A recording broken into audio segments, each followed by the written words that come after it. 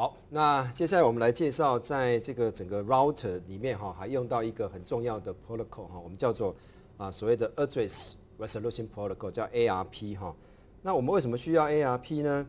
因为我们有说过哈，这个 router 本身呢，maintain 了两个 table 啊，一个叫做 routing table，就是让我们看说，好，那你风暴进来之后呢，我把 IP 啊拿出来，然后查表啊，看看说，啊这个啊 destination 的 IP 哈。啊，应该往哪个地方送？啊，可能是直接相连的，就要直接送给那个直接相连的目的地嘛，哈。那如果没有直接相连，我要送给另外一个 router。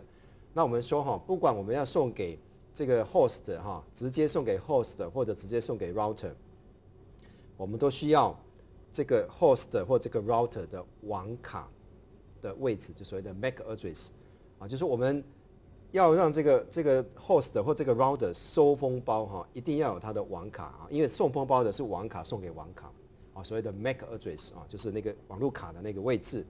好，那我们通常都会有啊，我这个目的地的 IP 啦，我会有它的 IP，可是你不见得会有它的网卡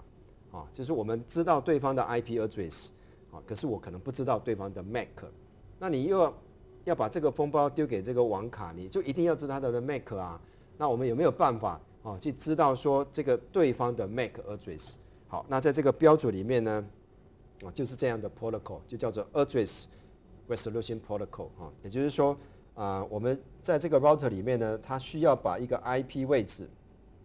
啊就是说我们这个啊 router 本身要把一个 IP 位置哈，把它 map 到一个所谓的 physical address，所谓的 MAC 位置啊，比如说我们如果要送给一个真正的 destination host。或者哈下一个下一个 router 啊，就下一步的 router，我们都需要它的 MAC address。好，那我们如果没有这个 MAC address 的话呢，那我们就要想办法去要的意思了哈。好，我们就来说，那我们到底怎么去要到这个对方的 MAC address 呢？啊，我们说哈，我们首先啊，这个我们会有一个 MAC table 嘛哈，我们说 IP 跟 MAC 的啊 mapping table，就是我们要把 IP 哈跟这个啊，所谓的 MAC 要把它啊全部把它收集起来。那我们的做法就是这样哈。首先，我们做一个 broadcast 的封包啊，request 啊，就是说我们这个 IP 的位置跟 MAC 啊这个这个对照的关系，如果不在我们的表里面啊，那我们就要去去问的意思啦。那去问本身哈，就是我们送一个 broadcast，就是广播广播出去嘛哈，因为你要问的对象哈都是跟你连在一起的。哦，那跟你不连在一起的，你根本也不需要它的网卡位置，因为它的网卡位置对你来讲是一点意义都没有。因为不连在一起的，你就要送，你就是必须给 router 啊，啊，所以对于没有跟你连在一起的这种目的地或者对对象，你根本不用知道它的它的 MAC，因为你根本用不到啊，因为你要跟他沟通的时候呢，你都要经过 router，所以你要知道的是 router 的 MAC address，而不是对方的 MAC，除非。对方跟你连在一起嘛，哈，因为连在一起你要直接丢给他，所以你需要他的 MAC 啊。那不连在一起的，你反正也丢不了东西，也丢丢不到他那里去，因为你一定要经过 router 啊。所以你要知道的是，跟你连在一起的这些主机啊，它的 MAC address 还有 router 的 MAC address 哈。好，那我们说，那你广播呢？广播到哪里去嘛？哈，就把它广播。那广播上面就带着这个 IP 啊，就是说你现在有一个 IP。啊，这个 IP 可能是 router 的，可能是某一个 host 的哈，但是都是连在一起的哈。那你你有这个 IP，可是你也不知道它的 MAC 嘛，所以你就把这个广播出去哦。那广播就会到 router，会到这些所有的 host，因为大家因为是广播嘛，大家都听得到。那听到之后，我们这个叫做 talking machine，talking 就是说这个 IP 了哈，就就是某一个主机它的 IP 跟你要问的是一样哈啊，收到这种广播的这种 request 呢。他就会回应，他回应的时候呢，就会把他的 MAC address 呢，啊，就会带回来。所以它就很简单，就是一问一答啊。我就问说，诶，这个 IP 到底是谁的？那因为是广播嘛，那有一个每一个都会收起来看，哦，这个 IP 是不是我的？那如果 IP 是我的，我就回说，哦，OK，我的 MAC 是这样子啊。所以它很简单，就是用 broadcast 去问，然后你就回答，那我就可以有对方的这个 MAC address，而且我问到之后呢，我就把它存起来。我不用每次都问了哈，有问到就把它存起来哈。当然，这个存起来的这种 table 的内容哈，它还是有它的时效性。也就是说，如果它没有没有 refresh 的话，时间到的时候呢，就会把它啊把它清掉啊，相当于说我虽然问了一次哈，但是呢，呃，这个问了一次它的有效期哈，比如说是几十秒啦或几分钟哈，那如果不见的没关系，不见你就再问一次嘛，啊，就问一次，这个这个有效期是有一个上限的哈。好，那我们就来看一下我们在。询问的时候哈，到底会带了什么样的资料出去哈？那我们说，诶，这个就是 ARP 啊，这个 Packet Format 啊。我们说好，我要问嘛哈，那你这个到底这个封包在网络上面看到是在问还是在回答哈？我们就叫做 Operation 啊，这个栏位哈，告诉我们说，好，你是要问还是要回答？好，好，那我们说，那如果你是要问的话，你本身要问什么呢？啊，第一个哈，你必须要把对方的 IP 放出来哈，所以我们说这个叫做 Target Protocol Address，这个就是 IP 的位置，对方的 IP 嘛啊，因为我们知道 IP 现在是呃四个 byte 了哈，所以我们说零到三，好，那这是问的时候，那问的时候你问过去，等一下对方要回来啊，啊，他要回给你哈，所以他必须知道你问的人是谁哈，所以问的人本身的 IP 呢在这里。啊这是问的人 IP，啊，然后问的人的 MAC，因为他等一下回答的时候呢，啊是要送给这个 MAC 啊，就是这个啊，这地方，啊，这是问的人的 MAC，啊，所以这个在问的时候必须带自己的 MAC 嘛哈，然后带自己的 IP，然后问这个 IP 对方的 IP，哦，那对方收到之后呢，他就回，那回的时候呢，就特别注意到回的最重要是在这个地方，这里哈。这是因为对方的 MAC 呢是放在这里，然后回来，啊，所以我们出去的时候呢，这个这个栏位是空的哈，因为我就是要问这个 Target 的这个 MAC address，所以问的时候这个地方是没有的哈，啊，但是回应的时候呢，他就把对方的 MAC address 就放到这里面来，啊，所以经过这个一问一答哈，哎，我就知道对方的 MAC，那你有这个 MAC，当然就可以把它存起来哈，这是很简单的一个啊所谓的 ARP 的 protocol，好。那底下我们再来介绍说，那我们一般的这个 host 哈，我们怎么去呃让它的这个 IP 啦，或者所谓的 MAC address 哈，哦能够比较有有方便的来设定。那我们说哈，一个电脑里面如果它插了一张网卡，我们说现在大部分的像笔电呐哈，或者一呃一般的笔电本身啊这个啊 MAC 的位置哈都已经内建在主机板哈，所以基本上也没有什么插网卡，因为都内建在里面哈。好，我们说哈，这个以色列的 address，我们说哈，以色列本身的 address 也是六个 byte 嘛哈，四十八个 bits，这种以色列的 address 本身哈，它生产的时候，我们讲哈，这个网卡生产或者笔电生产的时候呢，它就已经放在里面，就烧，我们讲烧入在里面，啊，所以每一个这个以色列的这个 make 哈，都都有烧了一个这个 make address。啊，那我们说这个 make address 本身不同的公司哈，它可以去买或者说去采购不同的这个呃，等于说固定的一个范围，啊，所以这个 make address 呢，它在其中的一部分就代表说这个 address 是哪一家公司拥有的哈，因为它是可以去去买的嘛哈。好，但是我们想特别说的就是说哈，伊色内的 address 就网卡的位置哈是。啊，你的这个设备或网卡生产出来出来的时候呢，它就已经烧入在里面了哈，这是第一点。好，但是 IP 的位置呢不一样，IP 的位置呢哈，它呢是可以设定的，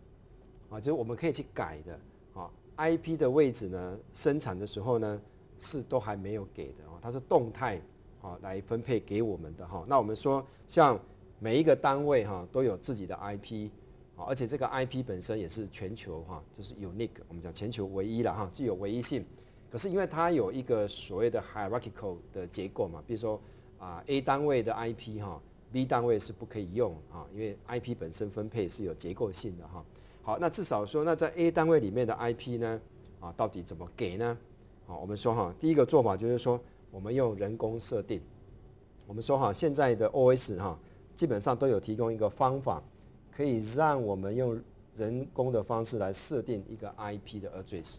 我们一般的 OS 哈作业系统里面都有一个这样的功能，就是你进到那个系统里那个功能里面去，啊，你就设它的 IP 嘛，然后设它的 subnet mask，还有你要设你的 domain name server，还要设什么一个 default router 啊，因为我们说哈，每一个电脑上面我们在送红包的时候呢，一样都会去做比对，看看说你要送的对象啊，到底是不是跟你在同一个网络，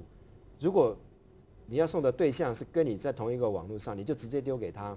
如果不是，你就要丢给 router。好，所以我们说哈，每一台这个主机哈，都会有一个，都需要一个叫 default router 啊，因为我们送的对象如果不连在一起的时候，你就必须丢给 router。所以我们说哈，会有设定，第一个设定你自己的 IP，设定你的 default router 是谁啊，然后设定你的刚刚讲 subnet 的 mask 啦哈，然后设定你的 domain name，domain name 是因为我们常常在通讯的时候呢，我们比如说我们讲那个呃网址嘛哈，triple w 点多少点多少这个网址，这个网址我们是要换成 IP 的啊，所以我们会去 domain name server 啊去换 IP 回来。那换 IP 的时候，我们就来看看，那你要送的对象的 IP 跟你自己的 IP 是不是在同一个子网段？我们讲子网路哈，所以我们就会用刚刚讲那个 subnet mask 啊，就是你要送的对象的 IP。跟你的 subnet mask 先做一个 and，and 的结果跟你自己的子网段比比看是不是一样？如果一样，就代表说我们在同一个所谓的子网段，哦，我们在同一个 subnet，我就丢给他啊。如果不一样，我就丢给 router，啊，这个动作还是相同哈。好，但是呢，我们说哈，用这个人工的设定哈，menu 的设定哈，这个就需要一点经验哦。很多人不会设，或者万一你设错了，比如说你的 default router 设错了。啊，对不起，你就不会通了，你就不会联网了哈。那你的 IP 随便乱改，我们说哈，A 单位的 IP，B 单位是不可以用的哈。那如果你你改了 IP 啊，改错了哈啊，那你也不能联网，你就连不出去了哈，因为 router 不会把那个 IP 送送给你了哈。所以这个人工的或者人为的设定 IP 的相关的啊 IP address 啦，domain name server 啦，还有你的 subnet mask 啦哈，还有你的所谓的 default router。啊，这四个哈，如果你设错了，啊，这个网络基本上是不会通的了啊啊，所以呢，为了让这个啊设定这件事情哈能够更简单一点啊，就有所谓的哎，可不可以自动来帮我做设定哈？我们叫 automatic configuration 哈，就自动的设定，那行不行？啊，如果可以有自动的设定的话啊，当然对我们整个这个使用就非常的方便哈。好，我们说哦还好。在这个啊网络的这个设计里面呢，有一个叫做 Dynamic Host Configuration Protocol，哦，一般我们叫做 DHCP，啊，DHCP 就是 Dynamic Host Configuration 嘛，就是哎我这个主机本身的这些 IP 位置的设定哈，我通通不用自己设，自动的帮我设哈，啊这个就非常的方便哈，所以我们会有一个叫做 DHCP 的 server，有一个 server 哈，那它就专门负责提供。啊，这种所谓的 configuration 的 information，就是假设有一个机器它刚开机，啊，它因为一刚开机它可能没有 IP 啊，也不知道 default router 啦，哈，很多不知道，啊，没有关系，啊，我们跟这个 DHCP 的 server 一连线，那 server 就更就给我说，哦，你的 IP 是什么？你的 domain name server 是什么？啊，你的 default router 是什么？啊，你的 subnet mask 是什么？刚刚讲那四个要设定的，我就直接跟他要，那要来之后呢，就存进去。哎，你就设好了啊，而且不会错误哈。所以 DHCP 呢是现在用的非常非常多的一个 protocol 哈。好，我们就说哈，在这个 DHCP 的这种 protocol 呢，我们说至少要有一个 DHCP 的 server 啊，因为我们要去跟他跟他要这个所谓的 IP 的相关的设定哈，是要跟他要的。好，那因为它是一个 server 啊，那如果每一台主机都跟他要，都跟他要，他要分配嘛。啊，就说这个 IP 是动态给的，所以他手上哈，他就必须我们讲，必须一个 pool，他必须有一些可用的 IP 啊，比如说一百个啦，或者两百个啦哈啊，那你要的时候我就给你，你要我就给你嘛，就动态分配的意思哈。好，那这个动态分配还有一个很重要的地方，就是说，那它分配出去的这个 IP 哈，是不是你永久都可以用？啊，事实上在分配的时候可以设定，比如我给你一个 IP。你现在需要给你一个 IP，但是呢，我说哦，有效期一天啊，或者是三个小时哈，就是说分配出去的 IP 哈，它的有效期哈，也是这个 D 我们讲 DHCP 的 server 它来控管啊，所以啊，这样才不会说一个 IP 分配出去啊，就永久被它用，那这样我的 IP 这个 pool 一下可能就会用完哈，那我就没办法做很好的控管哈。我们来看一下哈，它的运作的模式是怎么做啊？我们看这个例子里面哈，这个例子说，好啊，我们在最右边这边有一个 DHCP 的 server 啊，有一个啊 DHCP 的主机哈，那我们有一个 DHCP 的 relay，就是帮我们把这个问啊这个询问嘛哈，这个询问的需求呢，把它转给这个 DHCP 的 server 哈。好，那我们就说啊，首先我们假设这个这个笔电呢，哈，它刚刚开机啊，然后它用了 DHCP 啊，那它会做什么事？我们说，首先第一个哈，它就会送一个广播啊，就 DHCP 的所谓的 request 哈，叫做它叫做 DHCP 的啊 discover，就它要找那个 DHCP 的 server 的意思哈，它会送这个东西，而这个东西是一个广播的。广播的这样的封包啊，那广播的风暴它的 IP 位置哈，就是二五五点二五点二五点二五，就三十二个 bit 啊，全部都是一啊，代表 IP 位置的广播啊。那它广播啊，就是说，哎，我要找这个 DHCP 啊，这个 server 啊，好，那我们假设这个广播呢送给了这个 DHCP 的 relay 啊，这个 relay 呢，它就再用 unicast 哈。送给这个 DHCP 的 server 啊，那这个就不是广播了哈。我们注意到这地方是 unicast 啊，unicast 代表说它是指定啊，是要给这个啊 DHCP 的这个 server 哈，它是指定的哈。好，所以这个地方就用了所谓的 unicast 来送。好，那找到这个 DHCP server 之后呢，啊 DH server 本身哈，它就回应说 OK，好，我这次我给你哪一个 IP。我跟你讲，你的 domain server 是什么啊？你的 default router 是谁啊？然后你的 subnet mask 是什么啊？把这个资讯呢啊，就通通回给哦这个笔电，啊，那这样笔电经过这样子的一个轮回之后呢，就一问一答呢，啊，他就知道了哈。变成说刚刚提到哈，他只要啊问这个 domain 呃 DHCP server，DHCP 回一个哈，好，那我就得到了啊。那变成说。我这个 IP 的设定呢，就不用自己设了了哈。那这个 DHCP 呢，在现在的这种网络里面，就用的非常的多哈。你的笔电啊，只要一开机，它就因为很多走无线网络嘛哈，直接就去想办法找到这个 DHCP 的 server，然后就会得到一个这个所谓的啊 IP 啦、subnet mask 啦、default router 啦、domain server 哈，就一并就下载进来啊，这样让我们这个 IP 的设定呢。啊，就非常的方便。好，我们就用一个例子哈来说明这个 DHCP 啊整个使用的这个结果哈。那像我们看到的这张图里面啊，就是像我的笔电，那我的笔电本身哈，它用了这个 DHCP 哈，然后去取得这个相关的资料。我们可以看一下，比如说啊这个地方我们有像我的 IP 的位置哈，在这里啊，这个是啊一九二点一六八，然后点零。好，那点一零一哈，这个就是我用 DHCP 呢，啊，我的笔电用 DHCP 去取得的这个 IP 哈。那同同时也告诉我说，啊，我的像 domain server 在这里哈，domain server 在这个地方，那我的 IP，我的 domain server 哈，都在这里面，都会记录下来哈。那甚至我这里面其实还有啊，取得这个 IPv6 啊，这是 IPv6 的位置了哈。也就是说，我们这个 DHCP 本身。啊，会回给我的哈，除了我的 IP 之外，好像我的 domain server 啦，我的 default router 哈，好像 default router 也都有在这个地方设定，啊，那甚至我一取得的时候，啊，可以取得不只是 IPv 四的位置，我连 IPv 六的位置哈，都可以都可以透过这个动态去取得哈，所以这个我们就可以很清楚知道说，这个 DHCP 啊，其实是一个非常方便的这个啊一个 protocol。好，那接下来我们来介绍。啊，一个 protocol 叫做 ICMP 哈，它叫做 Internet Control Message Protocol 啊，就是说它的目的就是说，因为我们的 router 哈，在帮我们送封包的时候哈，可能因为某种原因，这个封包没有办法送到目的地。我们知道哈，因为啊，整个 Internet 本身哈提供的我们叫做 unreliable 的 service 嘛哈，可能因为封包传输的过程当中啊被干扰，然后损毁。我们说或者可能 router 啊，它因为啊，我们讲它的 buffer 哈，因为满掉了哈，啊，因为进来的流量啊比出去的流量还大得多，所以呢，他就想办法把它存起来。可是呢，因为实在是存不下去了哈，他还是会把封包丢掉。那还有就是说，这个网络呢，啊，我们的封包在网络上面可能会不断的被被绕绕来绕去了哈。我们说，哎，这个也有可能就是我们一个 time to live 嘛哈，就是说一个 router 处理一个封包，就会把它的值减一。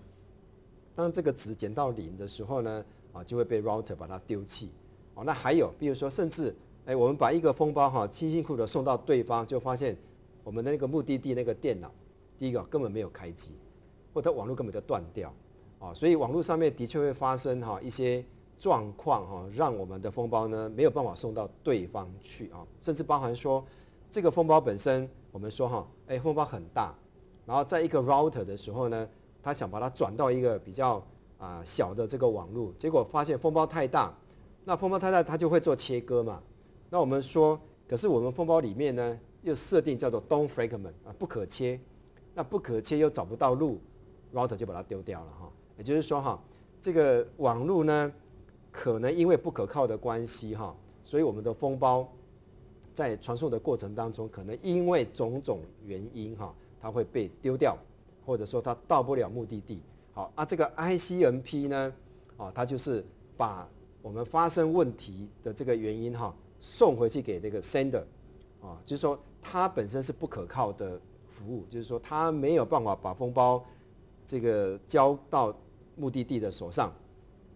啊，但是它至少告诉我们说，到底发生了什么事了哈？就针对每一个啊，就是封包被丢弃了，没有关系哈，他不会再重送了，但是他至少告诉我们说，到底发生了什么事哈？也就是说，这个 ICMP 本身，它就是来做这样的一个 protocol 啊，就是说，哎，我们可能会有一些 error 的 message 啊，就是发生的问题的意思了哈。好，这个 error message 我们就会把它送回去给我们的 source host，啊，就是说当一个 router 啊把一个封包丢弃啦，啊，或者是说啊，甚至我们讲哈，哎，风包在组合的时候呢，啊，因为我们一个风包会切了很多片段，啊，其中有一两个片段没有办法收到，那这个整个风包还是要丢弃嘛，哈，就是种种的理由哈，只要这个风包呢没有办法成功的到对方，啊，我们都要回复一个。啊，原因是什么哈？我们刚刚比如说哈，我们说 destination 呢 unreachable 啊，没办法送给目的地哈。比如说哈，link 坏掉啦，这是 load 坏掉啦，啊，比如说停电没有开机啦哈，都算。好，那我们说我们可能在组合的时候呢，哦，发生了错误啊，因为我们掉了一两个 fragment 啊，掉一个都不行哈，掉了一个一两个 fragment 呢，我们组合的时候呢就会失败。那失败，我当然就把它丢掉哈。那甚至我们说 TTL 哈，就所谓的 time to live 啊，它被减到零啊，减到零就代表说这个封包在网络上面呢不断的被啊绕过来绕过去哈，等于说它在里面迷航了了哈。那最后呢被 router 啊把它砍掉了哈。那这样的话它才不会在里面呢，我们说哈，在里面永远的绕圈圈啊。那这个被砍掉了啊，它也会告诉我们说为什么它被砍掉了哈。哦，甚至说我们的 IP header 的 checksum，啊，就是送的时候呢，因为有干扰，所以里面的 IP 的 header 里面的有一些纸啊，它坏掉了哈。那一检查码，一检查就发现不对，那这个封包也会被丢弃哈。像这些哈，林林总总的哈，各种原因，我们都是靠 ICMP 哈，啊，来告诉这个 sender 说你的封包为什么掉了的意思啊。好，那除了告诉我们说。啊，封包掉了啊，这个事情之外，ICMP 还可以做一件事情哈，我们叫做 redirect 啊，redirect 不是一个坏事哈，redirect 是说，哎，那如果这个 router 发现说，哎，其实如果你要送到某一个地方去，它有一个更好的路径，啊，更好的路，因为我们知道那个路径本身随时在那边变更嘛哈，那 router 主动发现说，哎，如果你是要到你这个封包哈，如果要到某一个目的地的网络的话，它可以有一个更好的路线啊，被它找到的时候哈，所以呢，它就会送一个叫做 redirect 的这样的一个封包出来哈。redirect 就是告诉你说，哎，你可以转向啊。那我们说哈，router 呢就会告诉一个 source host 啊，说我现在呢有找到一个更好的路由啊，那我送一个 redirect 封包给你啊，那你要不要啊去？变更啊，你这个方向的意思了哈，因为我有更好的方向的时候啊，我会告诉这些 host 啊，让他们可以选择有更好的路径可以选择。